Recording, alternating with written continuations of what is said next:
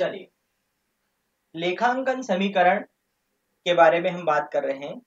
Eleventh accountancy में जो chapter हमारा चल रहा है, वो है लेखांकन समीकरण। लेखांकन समीकरण में सबसे महत्वपूर्ण बात है, लेखांकन समीकरण कौन सा? संपत्तियाँ बराबर दायित्व तो प्लस पूंजी। और उससे भी महत्वपूर्ण बात है कि हमें संपत्तियों के बारे में मालूम हो कि संपत्तियाँ कौन सी होती है दायित्व तो कौन से होते हैं और पूंजी कौन सी होती पूंजी किसे कहते हैं? ये तीनों चीज़ें यदि हमें क्लियर है तो हम समीकरण आसानी से बना सकते हैं। पिछली दो क्लासेस में हमने संपत्तियाँ, दायित्व, पूंजी के बारे में जाना। फिर हमने कल की क्लास में लेखांकन समीकरण किस प्रकार से प्रिपेयर किया जाता है, उसके बारे में हमने समझा, ठीक है? आज की क्लास में आगे हम और क्वेश्चन करने वाले हैं, जिसमें लेखांकन समीकरण और किस प्रकार से बनाया जाता है, वो देखने वाले हैं, ठीक है? तो चलिए स्टार्ट करते हैं हमारी क्लास। आज की लेखांकन समीकरण किस प्रकार से बनाया जाएगा वो देख लेते हैं। देखिए, कल हमने करीब आठ क्वेश्चन किए थे। आज मैं आपको उसके आगे के क्वेश्चन कराने वाला हूँ। और ये क्वेश्चन नंबर है नाइन। ठीक है? आप लोग भी पेन और कॉपी लेकर के बैठा करिए, स्केल लेकर के बैठा करिए। जैसे जैसे हम साथ में करेंगे, वैसे आपकी भी प्रैक्टिस होती जाएगी। निम्न से लेखांकन समीकरण तैयार कीजिए। हमें अकाउंटिंग इक्वेशन तैयार करना है, लेखांकन समीकरण तैयार करना है। नंबर वन है, व्यापार प्रारंभ किया, रोकड़ दो लाख रुपए और माल पच्चीस हज़ार रुपए। एक व्यापारी ने अपना व्यापार प्रारंभ किया, रोकड़ उसमें दो लाख रुपए लगाई और माल लेकर आया पच्चीस हज़ार रुपए।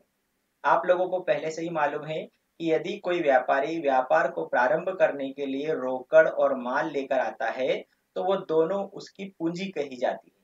इसका मतलब रोकड़ भी एक संपत्ति है, माल भी संपत्ति है, ये दोनों संपत्ति होगा और दोनों को जोड़ देंगे तो क्या हो जाएगा? पूंजी हो जाएगी। ठीक है?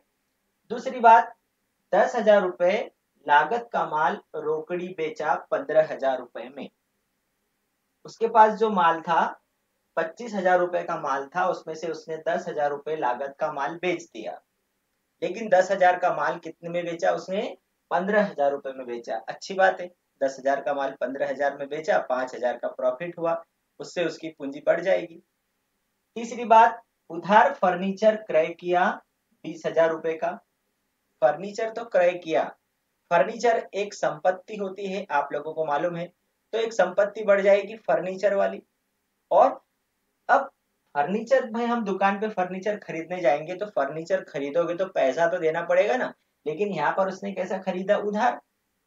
उधार खरीदा, इसका मतलब उसका दायित्व तो बढ़ जाएगा। दायित्व तो मतलब लेनदार बढ़ जाएँगे। तो संपत्ति तरफ़ फर्नीचर बढ़ेगा और दायित्व तो साइड में लेनदार बढ़ेंगे। ठीक है? अब इसी आधार पर हम लेखांकन समीकरण बनाते हैं। आप लोग भी फटाफट लाइनें खींचिए। और मैं जैसे बना रहा हूँ, वैसे ही आप लोगों को भी बनाना है। ठीक है? चलिए अकाउंटिंग इक्वेशन या लेखांकन समीकरण। ठीक है? लेखांकन समीकरण। सबसे पहले आएगा विवरण।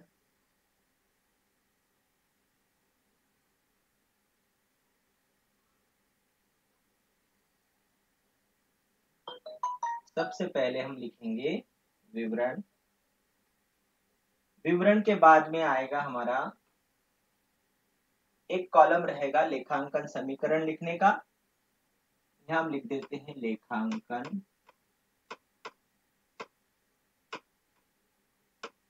समीकरण। ठीक है? ये रहेगा विवरण। यहाँ हम समीकरण लिखेंगे। पहले वाले कॉलम में संपत्तियाँ बराबर दायित्व प्लस पूंजी। ठीक है?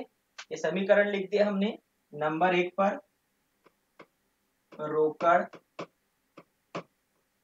और माल से व्यापार प्रारंभ। रोकड़ और माल से व्यापार प्रारंभ किया। अब रोकड़ और माल दोनों क्या है?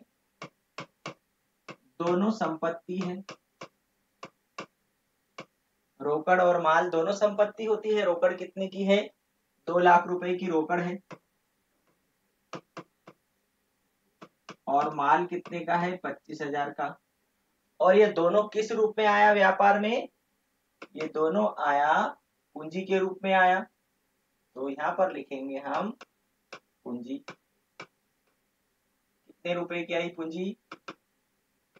ज़ीरो प्लस दो लाख पच्चीस हज़ार। ठीक है? रोकड़ दो लाख, ये भी संपत्ति है, माल भी संपत्ति होता है। दोनों संपत्ति साइड में लिखा हमने। दो पच्चीस हो गया और एक किस रूप में आया व्यापार में? दो लाख पच्चीस हज़ार। पूंजी के रूप में आया तो बराबर की इधर भी दो लाख पच्चीस हज़ार, बराबर की इधर भी दो लाख पच्चीस हज़ार। दूसरे नंबर पे दस हज़ार की लागत का माल पंद्रह हज़ार रुपए में रोकड़ी बेचा। सेकंड नंबर पर लिखेंगे हम। नगद माल बेचा। तो जितना शॉर्ट में लिख सके लिखेंगे। नगद माल बेचा। दस हज़ार रुपए की लागत का माल पंद्रह हज़ार रुपए में नकदी बेचा। भाई, उसको कितना पैसा मिल रहा है? पंद्रह हज़ार रुपए नगद मिल रहा है। और माल कितने का गया? बेचा मतलब उसके पास से माल स्टॉक कम हो जाएगा। दस हज़ार का माल कम हो गया। तो ये तो भैया गड़बड़ हो रही है। दस हज़ार का माल कम हो रहा है और पंद्रह हज़ार रुपए आ रहे हैं। तो पाँच हज़ार रुपए का क्या हुआ? प्रॉफिट हुआ। मतलब पाँच हज़ार रुपए से उसकी कैपिटल बढ़ जाएगी। तभी तो सही होगा। ये हो जाएगा हमारा नया समीकरण। नया समीकरण दोनों साइड में बराबर बराबर होना चाहिए। तराजू के दोनों पलड़े बराबर आना चाहिए। तो केस कितना हो गया? दो लाख पंद्रह हज़ार का केस हो गया। माल कितना बचा उसके पास? पच्चीस में से दस हज़ार का माल बेच दिया। पंद्रह हज़ार का माल बचा, दाई तो अभी कुछ नहीं है उसके पास, और उसकी कैपिटल हो गई दो लाख पच्चीस हज़ार तो पहले थी और पाँच हज़ार का अभी प्रॉफिट हो गया तो उसकी कैपिटल हो गई दो लाख तीस हज़ार। अब दोनों साइड में मिला लो भाई, कि दो लाख तीस हज़ार यदि बराबर के इधर है तो बराबर के इधर भी दो लाख तीस हज़ार होना चाहिए। दो पंद्रह और पंद्रह, दो लाख तीस हज़ार, बराबर हो गया हमारा नया समीकरण। तीसरा पॉइंट क्या है? उधार फर्नीचर क्रय किया बीस हज़ार का। चलिए, तीसरा पॉइंट लिखा। फर्नीचर उधार क्रय। जितना शॉर्ट में लिख सके, लिख देंगे। फर्नीचर उधार क्रय। फर्नीचर खरीदा चाहे नगद खरीदो, चाहे उधार खरीदो, व्यापार में संपत्ति के रूप में आएगा। मतलब एक संपत्ति यहाँ पर बढ़ जाएगी। और किस नाम से बढ़ेगी? फर्नीचर के नाम से। ऊपर से यहाँ तक हम नीचे तक ज़ीरो ज़ीरो लाएँगे। कितने का फर्नीचर खरीदा भाई साहब? बीस हज़ार का उसने खरीदा। बीस हज़ार का फर्नीचर आ गया। ठीक है? उधार खरीदा है तो कैश तो जाएगा नहीं, क्योंकि उधार खरीदा है तो उसके पास से पैसा गया नहीं। माल पर भी कोई इफ़ेक्ट नहीं पड़ा। अब उधार खरीदा है तो सीधी सी बात है कि उसके लेनदार बढ़ जाएँगे। दाई तो बढ़ गया मतलब लेनदार बढ़ गए। तो लेनदार कितने के बढ़ गए? बीस हज़ार रुपए के लेनदार बढ़ गए। पूंजी पर कोई प्रभाव नहीं पड़ा। बन गया हमारा नया समीकरण। नया समीकरण लिखो। न्यू इक्वेशन या नया समीकरण।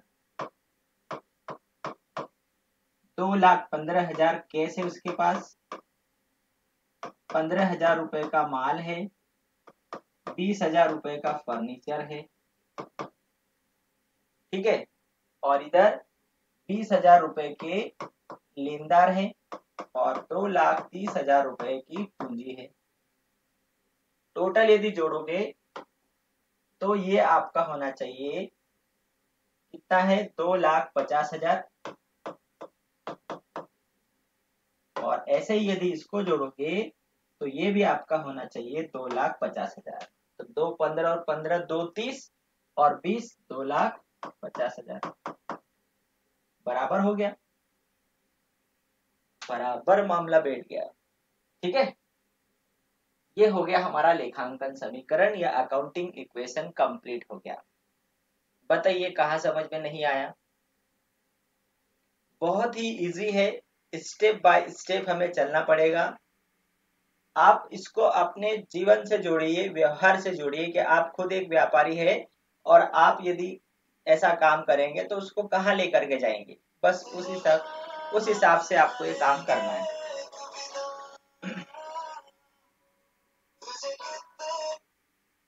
ठीक है? समझ में आया हो तो ओके लिखिए। समझ में आ गया हो तो ओके लिखिए और नहीं समझ में आया हो तो पूछ लीजिए। क्या समझ में नहीं आया? और यदि समझ में आ गया हो तो ओके लिखिए।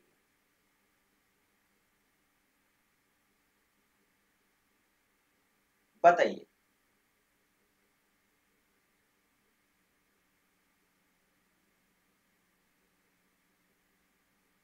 चलिए। दो का ही जवाब आया, बाकी लोगों को समझ भी नहीं आया क्या? तीन। और तो इलेवन कॉमर्स में कितने बच्चे हैं? सिक्सटी के आसपास तो हैं।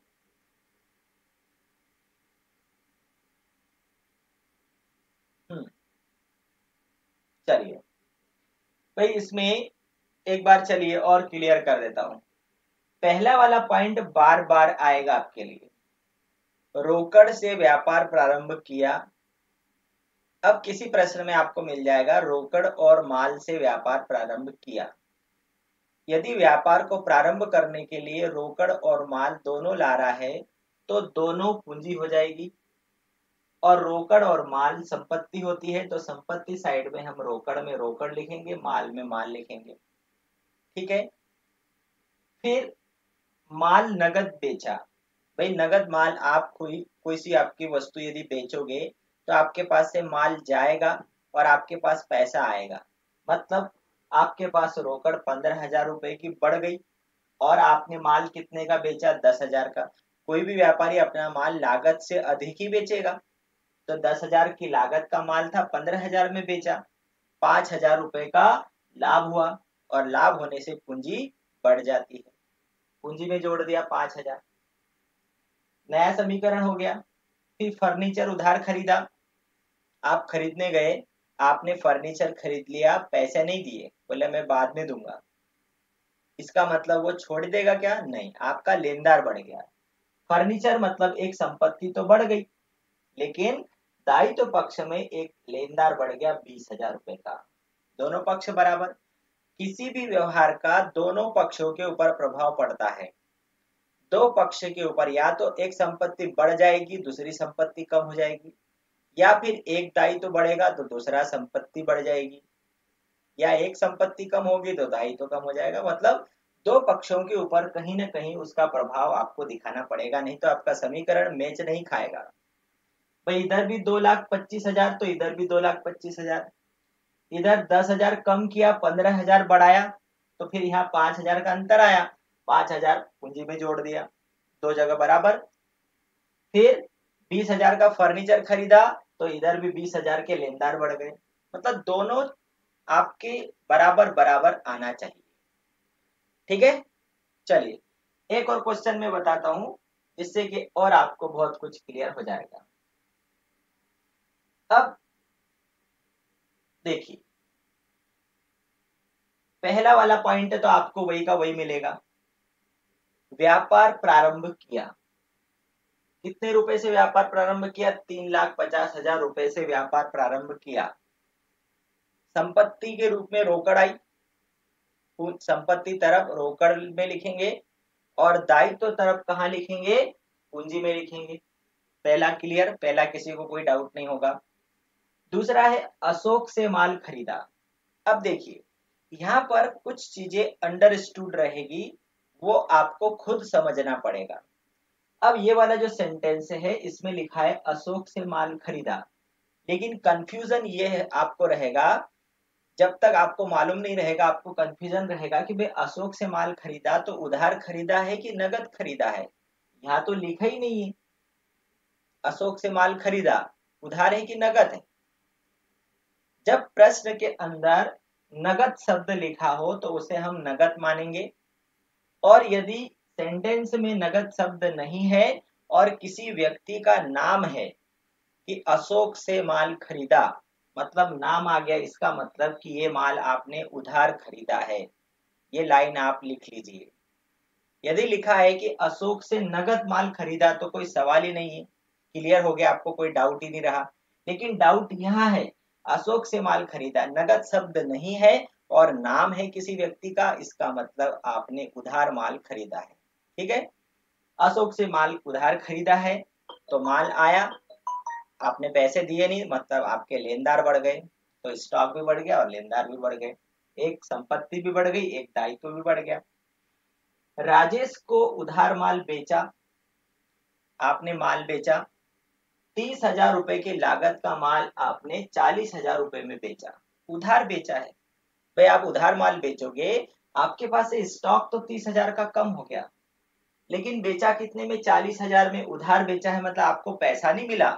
लेकिन देनदार बढ़ गए। एक संपत्ति के रूप में जो देनदार मैंने बताया था, वो देनदार चालीस हज़ार के बढ़ गए। लेकिन फिर भी आपका समीकरण नहीं मेज खाएगा, क्योंकि तीस हज़ार का माल गया और चालीस हज़ार के देनदार बढ़े तो दस हज़ार का आपको प्रॉफिट हुआ, वो दस हज़ार का प्रॉफिट आप पूंजी में जोड़ देंगे। रोकड़ से फर्नीचर खरीदा फर्नीचर आया और रोकड़ गई। एक संपत्ति बढ़ गई और एक संपत्ति कम हो गई। अशोक को पूर्ण भुगतान में चुकाए। आपने अशोक से माल खरीदा था पचास हज़ार का और आपने अशोक को पूर्ण भुगतान में चुकाए अड़तालीस हज़ार रुपए। तो ये ऐसा कैसे हो गया? आपने पचास हज़ार रुपए का माल खरीदा और जब पेमेंट करने गए तो अड़तालीस हज़ार रुपए ही चुकाए। ऐसा हो सकता है क्या? बिल्कुल हो सकता है। अशोक ने आपको दो हज़ार रुपए का डिस्काउंट दिया। और डिस्काउंट होने से आपकी पूंजी आपको फ़ायदा हुआ उससे। अशोक को पूर्ण भुगतान में आपने अड़तालीस हज़ार रुपए चुकाए तो आपके रोकड़ जो है, वो कम हो गए अड़तालीस हज़ार रुपए से। और आपके जो देनदार है, आपका जो देनदार है, आपने माल खरीदा था तो आपकी रोकड़ अड़तालीस हज़ार से कम हो गई और लेनदार आपके पचास हज़ार रुपए से कम हो होंगे तो फिर दो हज़ार रुपए आपका प्रॉफिट हुआ। ठीक है? फिर एक किराया चुकाया, किराया चुकाने पर रोकड़ कम हो जाएगी और उधर पूंजी भी कम हो जाएगी। जितने भी भुगतान है, इसके बारे में आप ये ध्यान रखना, जितने भी आप किराया चुकाओगे, वेतन चुकाओगे, मजदूरी दोगे, बिजली का बिल भरोगे, उन खर्चों से रोकड़ कम होती है और पूंजी कम होती है। बस इतना ध्यान रखना। जितने भी खर्चे एक्सपेंसेस जो आएँगे, उससे रोकड़ कम होगी और पूंजी कम हो जाएगी। इनमें कोई डाउट नहीं रहेगा। चलिए। अब हम प्रश्न को कर लेते हैं, इसको करते जाएँगे तो आपको समझ में आता जाएगा। आप लोग भी बताइए।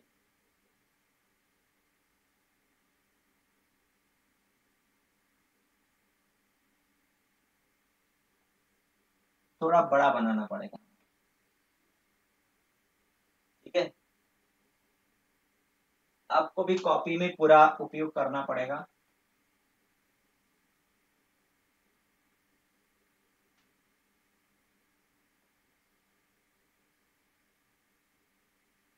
बोर्ड जितना बड़ा है, उतना तो मैं उपयोग करेगा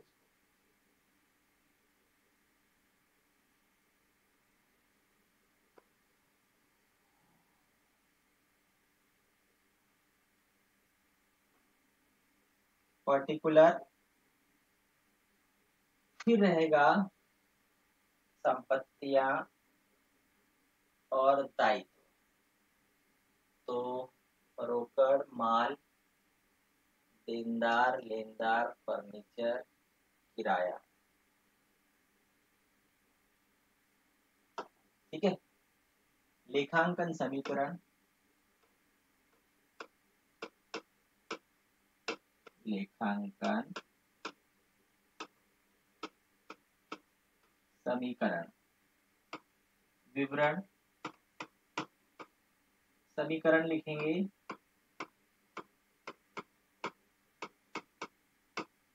संपत्तियाँ बराबर दायित्व प्लस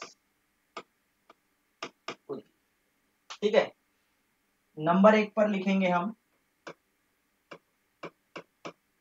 रोकड़ से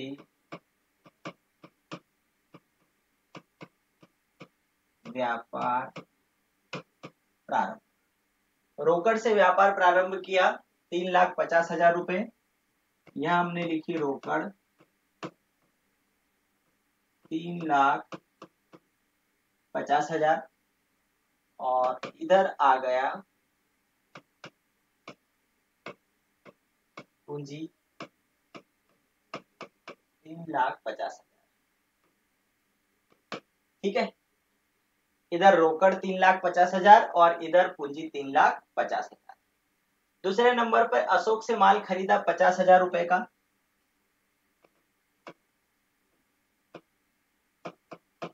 उधार माल क्रय। उधार माल खरीदा पचास हज़ार रुपए का तो माल बढ़ जाएगा। कितने का माल बढ़ गया?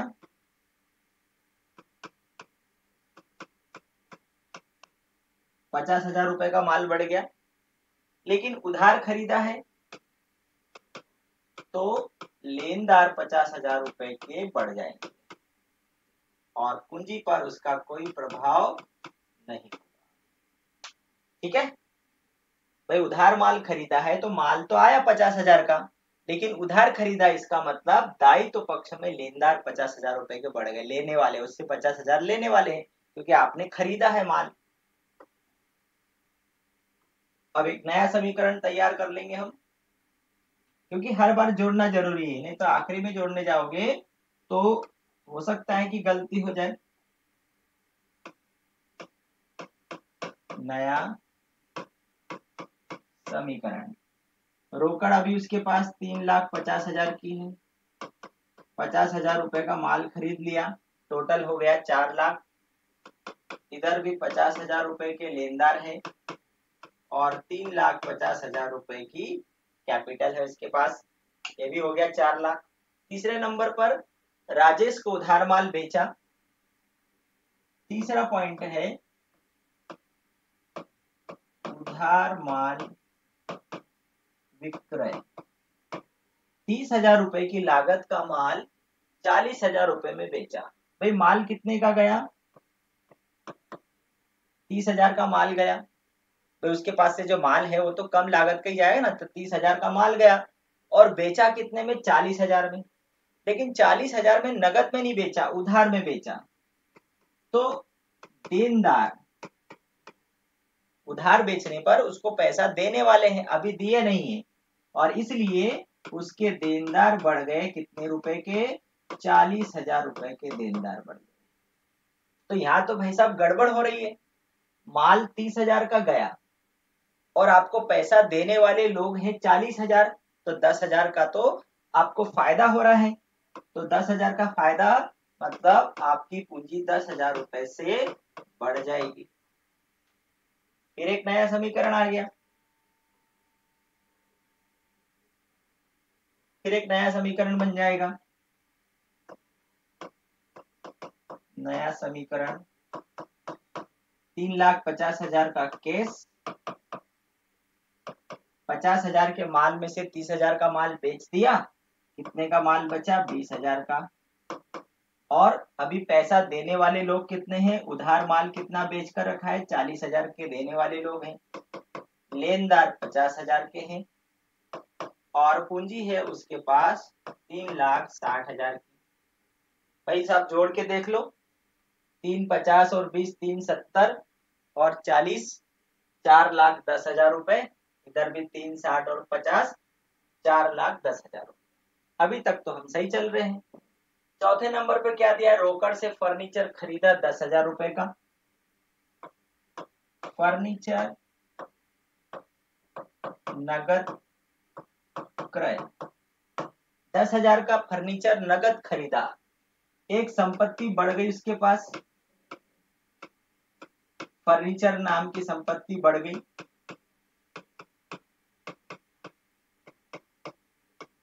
यहाँ लिखेंगे, दस हज़ार। और कैसा खरीदा नगद? मतलब उसके पास से पैसा जाएगा। दस हज़ार रुपए रोकड़ क्या हो जाएगी? कम हो जाएगी। बाकी माल पे कोई फ़र्क नहीं पड़ा। देनदारों पे कोई फ़र्क नहीं पड़ा। लेनदारों पे कोई फ़र्क नहीं पड़ा। और पूंजी पर भी कोई फ़र्क नहीं पड़ा। जहाँ कोई इफ़ेक्ट नहीं पड़ेगा, वहाँ पर हम ज़ीरो ज़ीरो लिखते जाएँगे। कैश तीन पचास था। दस हज़ार का फर्नीचर खरीद लिया तो आप कितना बचा? तीन लाख चालीस हज़ार रुपए का कैश बचा उसके पास। माल बीस हज़ार का है उसके स्टॉक में। और उसको उधार लोग देने वाले हैं चालीस हज़ार। और दस हज़ार का फर्नीचर खरीद लिया। इतना संपत्तियाँ है। दायित्व तो पक्ष में पचास हज़ार उसको देना है लोगों को। और तीन लाख साठ हज़ार रुपए की पूंजी है उसके पास। ठीक है? बराबर है? न्यू इक्वेशन हमारा। नया समीकरण।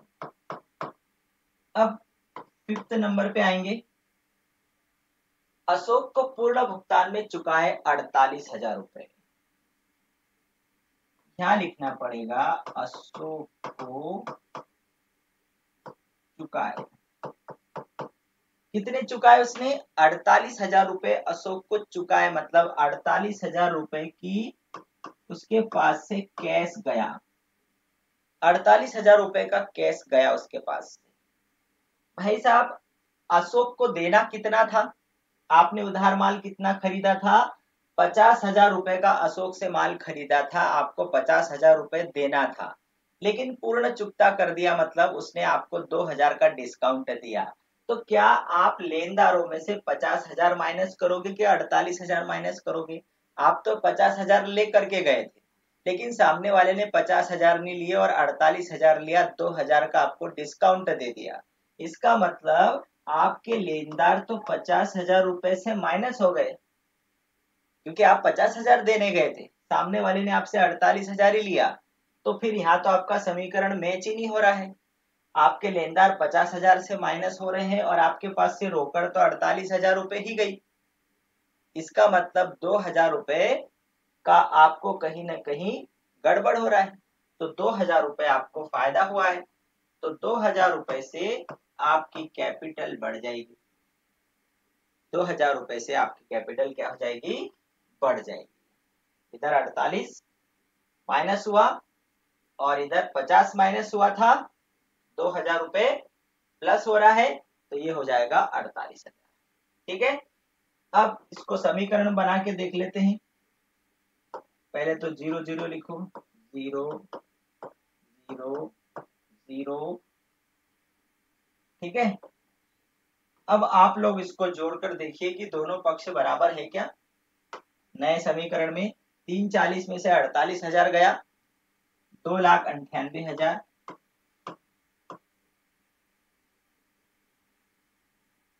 दो लाख बानवे हज़ार। दो लाख बानवे हज़ार। फिर बीस हज़ार। चालीस हज़ार। और दस हज़ार। फिर पचास में से पचास चला गया ज़ीरो, और ये हो जाएगा तीन लाख बासठ हज़ार। जोड़िए हो रहा है क्या? तीन लाख बानवे हज़ार, चालीस, बीस, साठ और सत्तर। सत्तर और दो लाख बानवे हज़ार कितना हो रहा है? जोड़िए, दो लाख बानवे हज़ार और सत्तर हज़ार।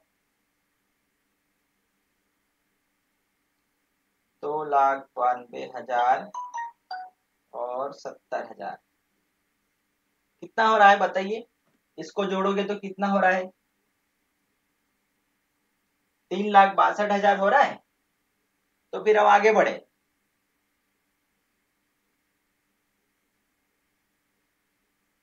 बताइए।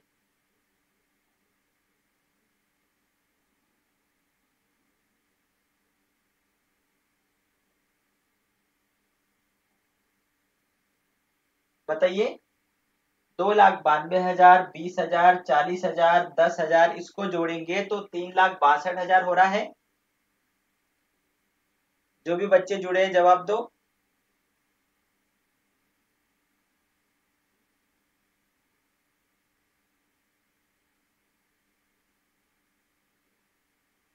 चलिए, ठीक है है ना? ये हमारा बन गया नया समीकरण।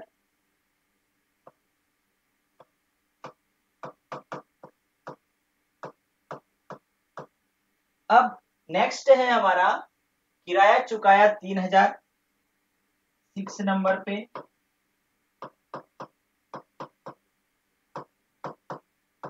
किराया चुकाया तीन हज़ार, मैंने बताया जो भी खर्चे हैं उनसे रोकड़ कम हो जाएगी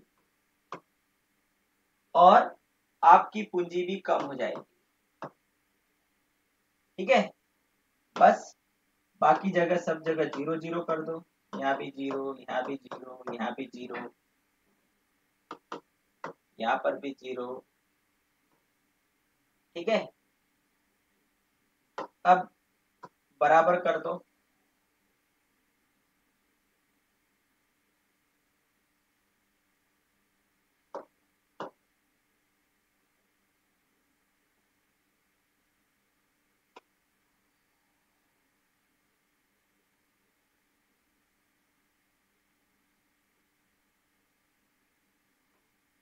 करिए, बराबर करिए। दो बानवे में से तीन गया। दो लाख निन्यासी हज़ार प्लस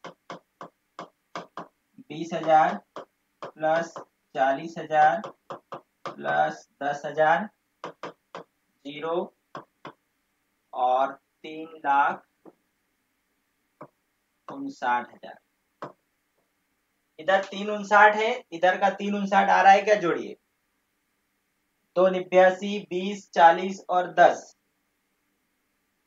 तीन लाख तीन लाख उनसाठ हज़ार आना चाहिए। ये हमारा हो जाएगा बराबर।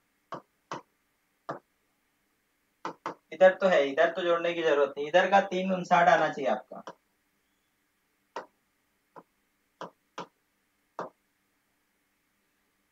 इधर का तीन उनसाठ आ रहा है क्या? जोड़ के बताइए।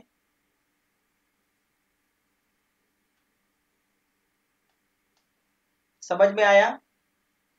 समझ में आया हो तो ओके लिखिए, और नहीं समझ में आया हो तो कौन सा पॉइंट है समझ में नहीं आया वो बताइए।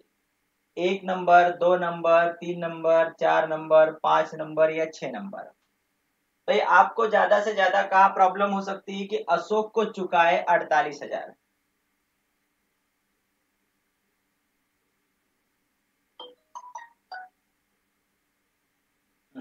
ओके वेरी गुड भाई फर्नीचर आपने नगद खरीदा। आप खुद व्यापारी हो। आपके व्यापार में आप फर्नीचर खरीदोगे व्यापार के लिए, है ना? माल बेचने के हिसाब से नहीं, उसको बेचने के हिसाब से नहीं खरीद रहे आप उसको व्यापार में स्थायी संपत्ति के रूप में खरीद रहे हैं तो एक संपत्ति आ रही है और दूसरी संपत्ति आपने नगद खरीदा है। नगद खरीदा है, इसका मतलब आपके पास से रोकड़ जा रही है।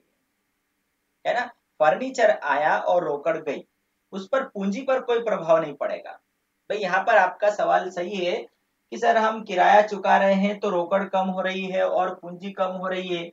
तो फर्नीचर खरीदने पर रोकड़ कम और पूंजी पर क्यों नहीं प्रभाव पड़ रहा है? भाई, दो पक्षों के ऊपर प्रभाव पड़ता है। भाई, खर्चे हमेशा हमारी पूंजी कम करते हैं। जो भी खर्चे होते हैं, वो खर्चे हमारी पूंजी कम करते हैं। खर्चों से हमें कुछ मिला नहीं है। लेकिन यहाँ पर आपको मिल रहा है ना फर्नीचर आ रहा है, उसके बदले, रोकड़ के बदले आपको क्या मिला? आपने रोकड़ दी फर्नीचर खरीदा दस हज़ार का तो आपको फर्नीचर मिला और उसके बदले आपने पैसे दिए। मतलब पैसे गए, उसके बदले आपके पास फर्नीचर आया, संपत्ति आई। तो दोनों पलड़े बराबर हो गए। यहाँ पर किराया आपने चुकाया तो आपका कैश तो कम हो गया। अब आप यहाँ पर किसमें जो किराए के तीन हज़ार रुपए का एडजस्ट करोगे तो तीन हज़ार रुपए से आपकी जो पूंजी है सीधी सीधी कम हो रही है। तो खर्चे जो भी होते हैं, वो खर्चे आपकी पूंजी को सीधा सीधा कम कर देते हैं। ठीक है? बहुत ही अच्छा इंटरेस्टिंग क्वेश्चन था, समझने लायक था। चलिए, अगला क्वेश्चन देखते हैं हम। ग्यारह नंबर वाला क्वेश्चन लेखांकन समीकरण का उपयोग कर निम्न व्यवहारों का संपत्ति, पूंजी, दायित्व पर किस प्रभाव प्रभाव पड़ेगा और चिट्ठा भी दर्शाइए।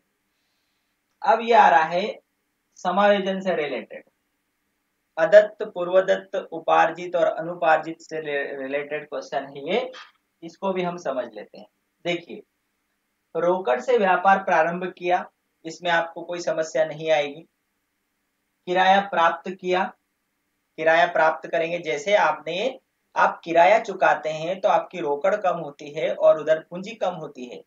ठीक इसके अपोजिट, आप ये जब किराया प्राप्त करेंगे तो आपकी रोकड़ बढ़ जाएगी और उधर पूंजी भी बढ़ जाएगी। बहुत आसान है। खर्चों के मामले में बहुत आसान है। जब आप किराया चुकाते हो तो रोकड़ कम कर दो, पूंजी कम कर दो। और आपको किराया प्राप्त हो रहा है तो रोकड़ भी बढ़ जाएगी और पूंजी भी बढ़ जाएगी। ठीक उसके उल्टा। उपार्जित ब्याज। उपार्जित ब्याज का मतलब होता है, आपने ब्याज कमा लिया है लेकिन अभी आपको मिला नहीं है। और ऐसा ब्याज जो आपको मिलने वाला है, मिला नहीं है लेकिन मिलने वाला है, वो आपकी संपत्ति होती है। मैंने आपको उदाहरण दिया था कि उपार्जित मजदूरी, आपने कहीं काम किया और आपको अभी मजदूरी मिली नहीं, मिलने वाली है। आप आप उसको संपत्ति मानोगे कि नहीं मानोगे? कि आपकी संपत्ति है मिलने वाली है। भाई अभी के, किसान के खेत में फ़सल है वो अनुमान लगाता है प्याज लगे हैं तो वो अनुमान लगाता है कि मेरे इतने रुपए के प्याज निकलेंगे या मेरे इतने रुपए की अरबी निकलेगी या मेरे इतने रुपए की सोयाबीन निकलेगी या कपास निकलेगा। वो अनुमान लगाता है कि भाई मैंने जो मेहनत करी है और उस मेहनत का प्रतिफल इतना मिलेगा मतलब उसकी संपत्ति इतनी आएगी। ऐसी ब्याज, उपार्जित ब्याज मतलब इतना मिलने वाला है तो वो उसकी संपत्ति हुई। तो हम संपत्ति साइड में लिखेंगे उपार्जित ब्याज 500 और अभी चूँकि मिला नहीं है, इसलिए कैश में नहीं लिखेंगे। भाई, संपत्ति पक्ष में यदि 500 हमने लिख दिया उपार्जित ब्याज के रूप में तो दायित्व तो पक्ष में हमारी पूंजी 500 रुपए से बढ़ जाएगी। जब भी समायोजन की एंट्री होगी मतलब अदत्त, पूर्वदत्त, उपार्जित, अनुपार्जित की तो उसका प्रभाव पूंजी पर पड़ेगा। है ना? तो संपत्ति पक्ष में हमने उपार्जित ब्याज पाँच सौ रुपए एक संपत्ति जोड़ दी और उधर पूंजी पाँच सौ रुपए से बढ़ जाएगी। कमीशन अग्रिम प्राप्त हुआ आपको एडवांस में किसी ने कमीशन दे दिया किसी काम को करने के लिए कि मेरा ये काम आप कर देना, मैं आपको एडवांस में कमीशन दे रहा हूँ। तो आपको एडवांस में कमीशन मिल गया एक हज़ार। भाई, एक हज़ार एडवांस में दे दिया मतलब आपके पास कैश तो आ गया। कैश आ गया, नगद तो आपका कैश तो एक हज़ार रुपए से बढ़ गया। लेकिन एडवांस में मिला हुआ पैसा आपकी संपत्ति नहीं है। वो कल पलट के आ गया कि भैया मेरा एडवांस वापस कर दो। तो इसका मतलब वो एडवांस में मिला हुआ पैसा आपका पैसा नहीं है, वो आपके लिए दायित्व है। और इसलिए अग्रिम प्राप्त कमीशन मतलब एडवांस में प्राप्त कमीशन आपके लिए दायित्व है और दायित्व पक्ष में हम एक दायित्व के रूप में लिखेंगे। अग्रिम कमीशन। लेकिन कैश तो बढ़ जाएगा। कैश बढ़ेगा एक हज़ार से और दायित्व तो एक बढ़ जाएगा। हमारा कि भैया ये अग्रिम प्राप्त हुआ है, वो सामने वाला कभी भी ले सकता है। ठीक है? तो ये चार को हमें समीकरण में दिखाना है। चलिए, बना लेते हैं हम इसका समीकरण। छोटा सा समीकरण बनेगा। चलिए, इसको हम यही रहने देते हैं। साइड में कर दें। डिस्टर्ब करेगा ये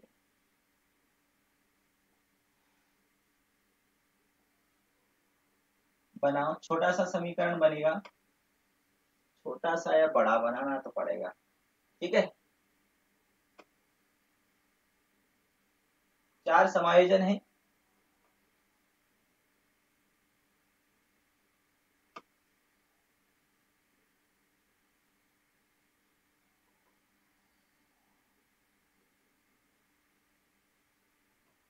विवरण।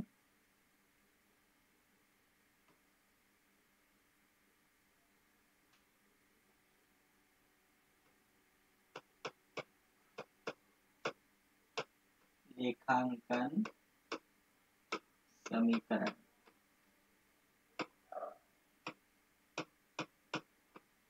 विवरण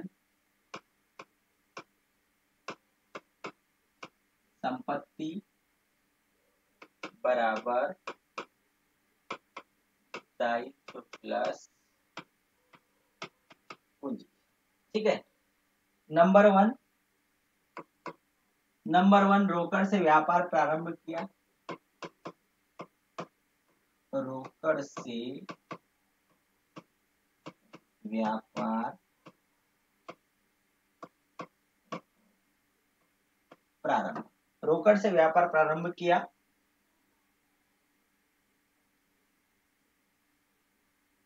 ठीक है कितने की है? साठ हज़ार की है।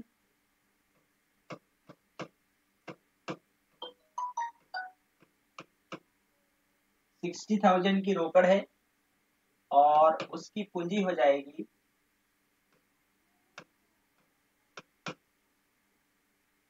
साठ हज़ार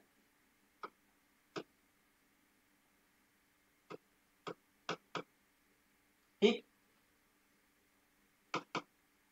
इधर अभी ज़ीरो है, ठीक? आगे है किराया प्राप्त किया दो हज़ार रुपए का, नंबर दो पे।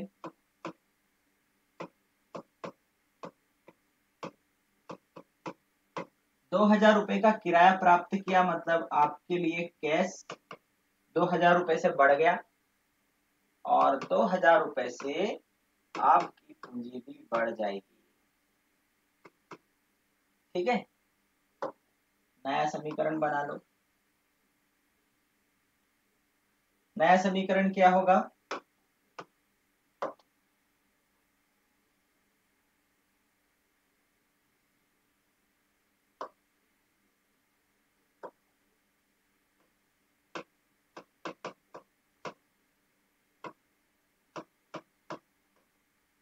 बासठ हज़ार का कैश हो गया। और बासठ हज़ार रुपए की पूंजी। ठीक है? आगे बढ़े तो हम। तीसरे नंबर पे क्या दिया है? उपार्जित ब्याज पाँच सौ रुपए।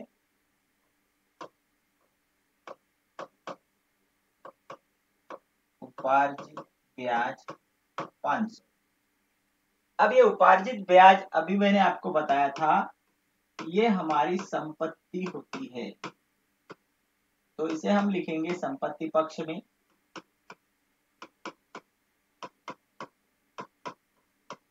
पाँच सौ रुपए की। और इससे हमारी पूंजी बढ़ जाएगी।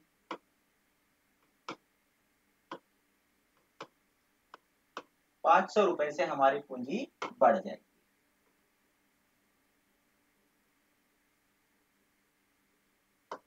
बासठ हज़ार प्लस पाँच सौ और इधर भी हो जाएगा बासठ हज़ार पाँच सौ। बराबर चल रहा है अभी? नया समीकरण बन गया हमारा।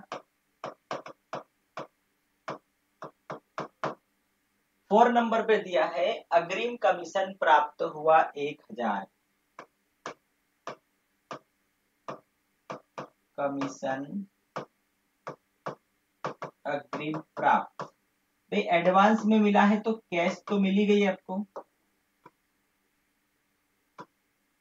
यदि आपको एडवांस में मिला है मतलब आपको कैश एक हज़ार रुपए आपका बढ़ गया। लेकिन दायित्व तो पक्ष में आपके लिए एक दायित्व तो बढ़ गया। क्योंकि कमीशन आपके लिए एक दायित्व तो होता है। एडवांस में मिला हुआ कमीशन और इसलिए एक हज़ार रुपए का दायित्व तो आपके लिए बढ़ गया। पूंजी पर कोई प्रभाव नहीं पड़ेगा। एक हज़ार से कैश तो बढ़ा, लेकिन वो दायित्व तो भी बढ़ा दिया उसने। बासठ और एक तिरसठ, और ये पाँच सौ, और ये एक हज़ार और बासठ हज़ार पाँच सौ। बराबर? तिरसठ पाँच सौ इधर भी और तिरसठ बासठ और एक तिरसठ पाँच सौ इधर। ठीक है?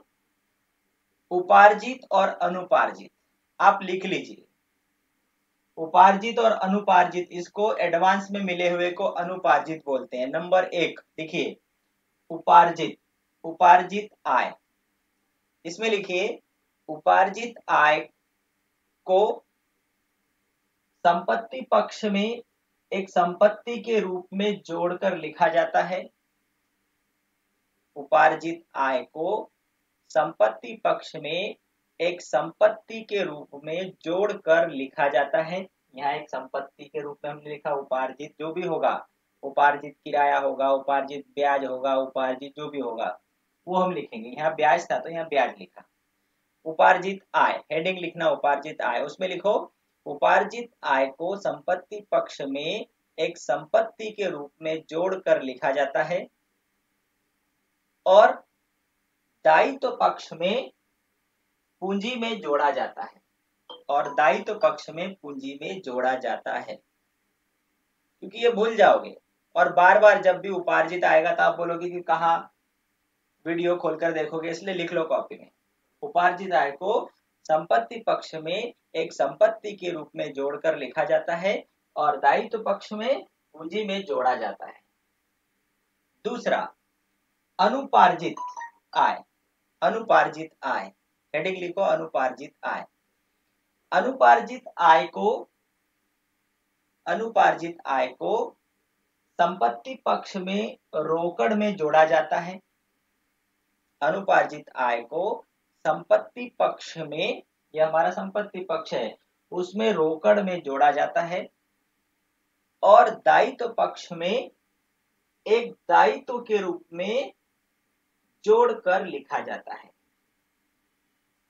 अनुपार्जित आय को संपत्ति पक्ष में रोकड़ में जोड़ा जाता है और दायित्व पक्ष में एक दायित्व के रूप में जोड़कर दिखाया जाता है। क्लियर ये उपार्जित और अनुपार्जित। उपार्जित तो उसमें लिखा मिलेगा, लेकिन इसको अग्रिम कमीशन जो आपको एडवांस प्राप्त होता है, उसे अनुपार्जित कहा जाता है। ये भी लिख लो। अनुपार्जित का मतलब होता है, जो आपको एडवांस में प्राप्त होता है। आपको एडवांस में कमीशन मिल गया एडवांस में किराया मिल गया तो वो एडवांस में मिली हुई चीज़ अनुपार्जित कहलाती है। तो उसको रोकड़ में जोड़ी जाती है और दायित्व में एक दायित्व के रूप में लिखा जाता है। क्लियर ये क्लियर हो गया आप लोगों को? ये दोनों पॉइंट बहुत इंपॉर्टेंट बताए, क्योंकि अभी प्रश्न में परीक्षाओं में यह आता ही है, उपार्जित अनुपार्जित के बारे में।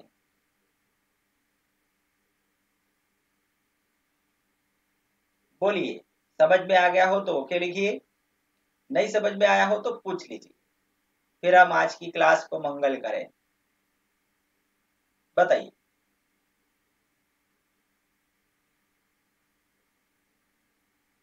जितने भी बच्चे हैं, वो बताइए। आपको समझ में आ गया हो तो ओके लिखिए, और नहीं समझ में आया हो तो पूछिए कि क्या समझ में नहीं आया। एक बच्चे ने अभी तक बोला अंकित ने, और बताइए।